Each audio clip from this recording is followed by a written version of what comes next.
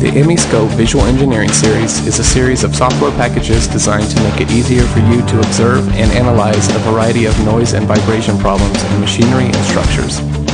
ME'scope VES is used for operating deflection shape analysis, modal analysis, acoustic analysis, multiple input and multiple output modeling and simulation, and structural modifications.